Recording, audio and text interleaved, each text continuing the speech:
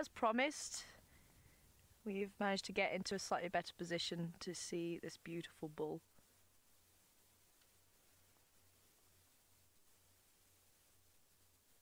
Uh, he's listening to something. Now, they might not talk a lot, but if you listen, they do say a lot with their body and their ears. Now, if you think at how tall a giraffe can get,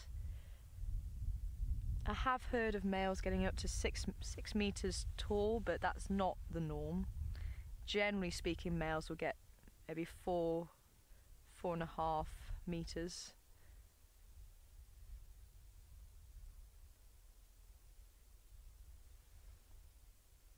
But they've obviously got their eyes right up on top of the head so they can see much further than most animals in the bush.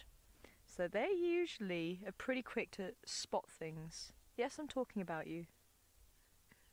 I hope you like what I'm saying. You've got beautiful eyes. So they can see for pretty, pretty far, so it's very difficult to actually creep up on a, on a giraffe. And especially if they've got their ears looking forward, which is an alert position, that means that they have seen something. And especially if a giraffe is alert, they're, even though most things can't harm them, they will still be alert for lion, especially. I have seen them being alert for a leopard, with it being a large cat, and occasionally you do hear of leopard taking out, especially young giraffe an adult giraffe is going to be quite difficult for them. So if you're able to find a giraffe and look if they are showing that alert position, see where they're looking, quite often they're spot on that there is something there. So that's why I always listen to a giraffe. Now the white, you might think, why do they have white ears? If you look at the rest of the body, it's dark, especially with this bull. They do get darker with age. Generally speaking, males get darker than females.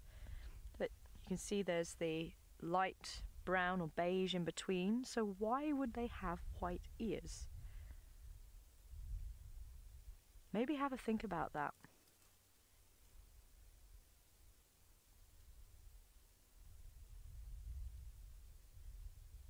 And the ears are quite small compared to those of elephants and other animals. Why might they have white ears? Hashtag Safari Live if you think you know the answer.